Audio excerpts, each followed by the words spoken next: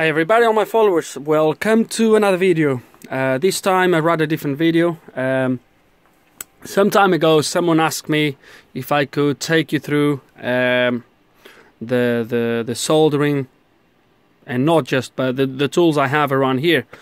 Um, so these guys is my uh, shed, my workshop as I keep calling it. Um, I've been moaning lately that uh, the workshop was an absolutely mess and it still is although it's raining. Uh, I can't really do any work on cars, although I have two cars on the driveway. Uh, but uh, I can't really do nothing on them. So I've just decided to take a little bit to start to um, tide, tide the, the the the shed. Try to put this a look a little bit better with some more space to work around. I will take you through all these in a minute anyway. Uh, but uh, I'm going to show you the. The tools I have. So they are nothing fancy, they are nothing expensive. Uh, it's not like state of the art or anything like that. But uh, it's the tools I use for soldering to do uh, the works um, you've seen me, you have seen me already doing. So I have, so right here at the top, I have these three tools. I'm going to turn them all on so we can have a look and exploring them. This one is a little bit noisy. I'll turn it off uh, right at the end. So as you can see, it's a little bit noisy. Um, and um, I will start with this one so we can turn it off as soon as possible.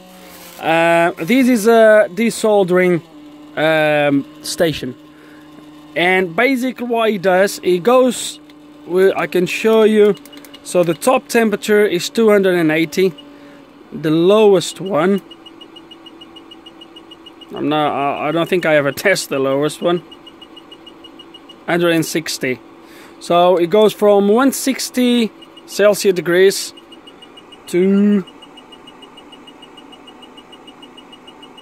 480, which is 896 Fahrenheit. Um, and basically, what it is is, is a gun. Uh, it heats up the tip here it's not going to focus, isn't it? Uh, no, he's not. It's not going to focus. Uh, so it, it heats up the, the tip. As you can see, there's a leer hole in the middle. So that's how you desolder. Uh, when you press, there's a vacuum pump inside of this.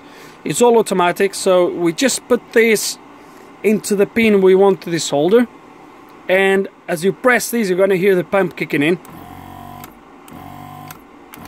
And obviously the pump applies vacuum around here. At that point the solder is going to be melted and it just sucks the solder into this area here. Uh, every now and then you need to open these and get it cleaned obviously. But very quick to desolder is is is very is no good for SMD components like uh, uh, EPROMs and like you know um, car ECUs and stuff. It's not very good for that because it's all SMD uh, components. But uh, for anything else is a is a quite good tool. I use it quite often. Um, special to recover components like uh, resistors capacitors and stuff like that. Uh, so yeah so this is is one of the tools I have. I'm gonna turn it off because it's it's quite quite loud um, so over here we have um, hot air station uh, it came with two tips, this uh, really thin tip, and it came with this bigger one. So basically the way it works is you set the temperature is on 350, I think it goes up to 450. No, 480 as well. 480 and it goes from 100 to 480 so you can use these to uh, heat shrink uh, tubes, for example, the so 100 to 450. So you can use it for different appliance, uh, applications, not just to uh, solder or desolder something. So this is the the one I use to remove EPROMs, uh, chips and stuff like that because you just heat up the area and as it, as it starts to, to heat up as soon as you feel that is, is ready to come off with some tweezers you just pull it out. And to solder back on I usually use this one as well. Um, the way it works obviously is off at the moment. As soon as you take out from the stand from the the holder it kicks in straight away. Okay? Here you can adjust how much hair you want to come out. Okay how quick you want hair to come out. So I'm gonna take it off a little bit. It only turns off when the, the temperature goes below so it heats quite quick and only when the temperature goes below 100 if I'm not mistaken. As you can see it's going down now and it turns off. But if I put on maximum you're gonna hear now if I reduce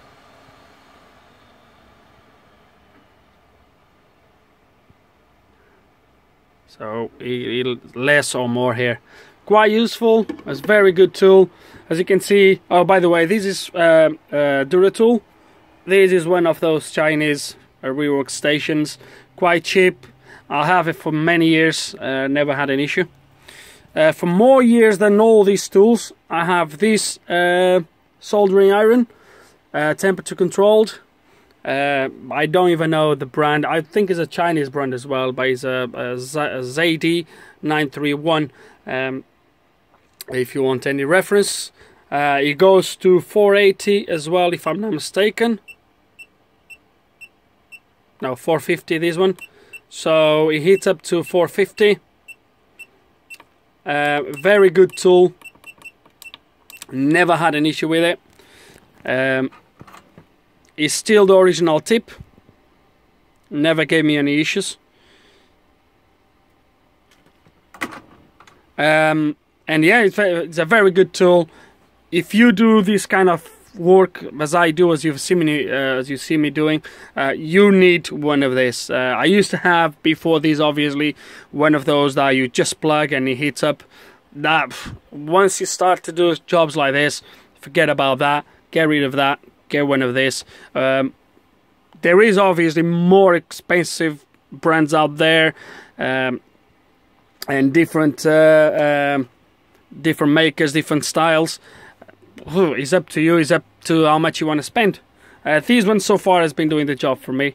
Uh, so yeah so this is the one I have. Um, and the solder really is, is, the only stuff I have. Uh, I do have, obviously, I don't use this uh, sponge thing to clean the tip anymore. Uh, when I'm soldering, I use one of these uh, stuff. It's like uh, metal sponge thingy. Well, uh, it's easier to, it cleans much better, and obviously, is always ready.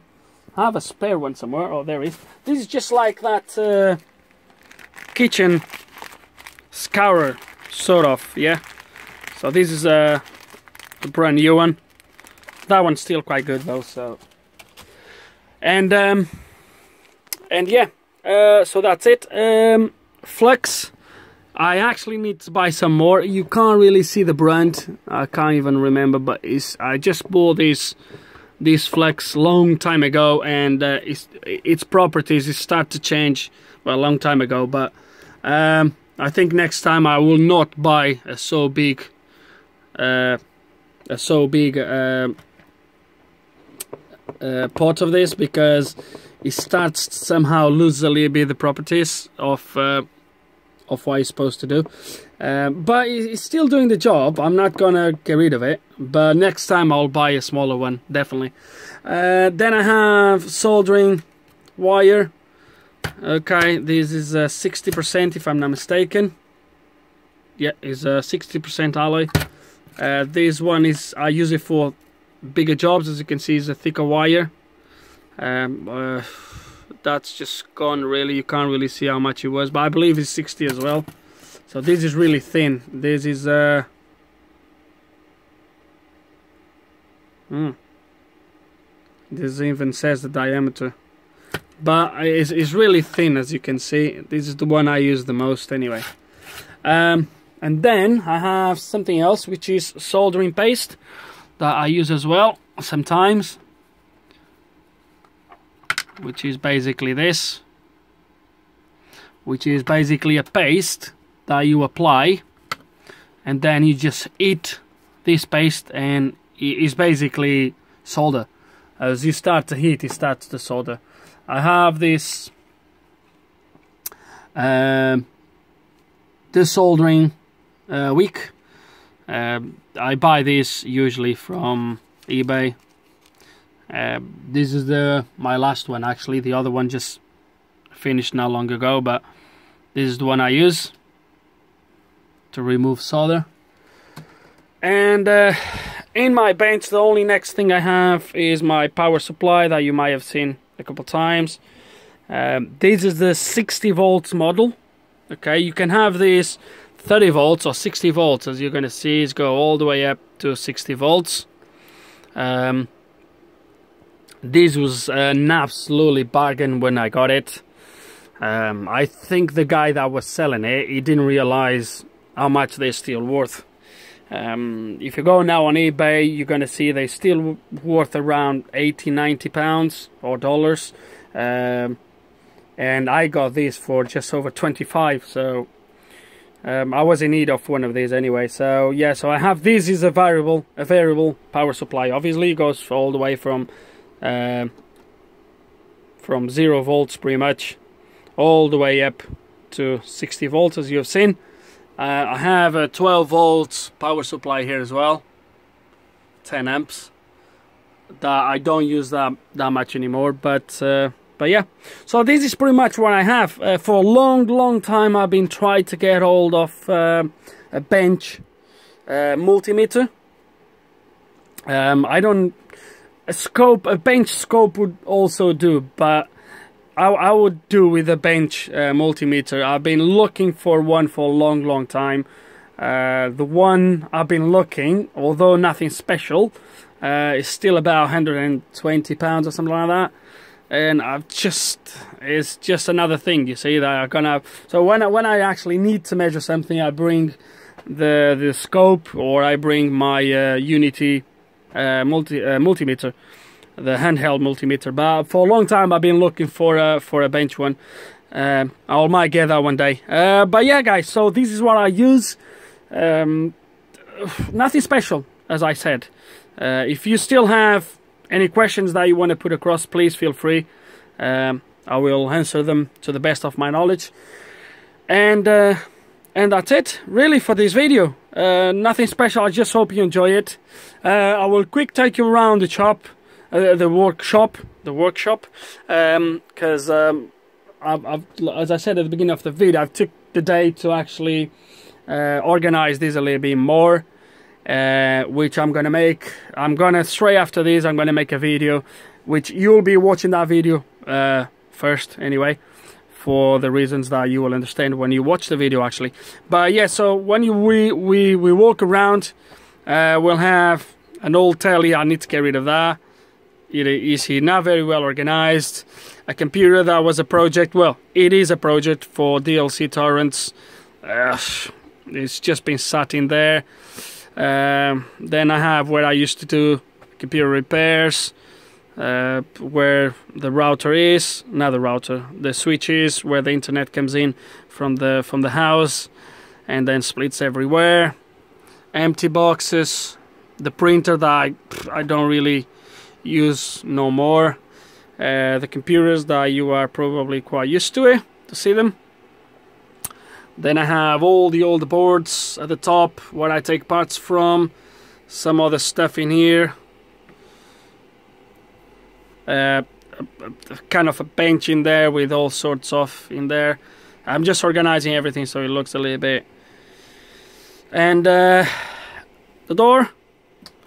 And that's it.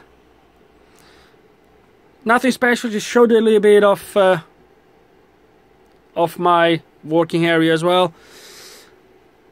That's it. Guys hope you enjoyed the video. If you still have any questions please don't hesitate. Just put them across.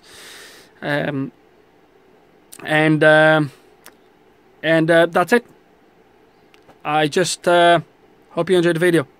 And like always thank you so much for watching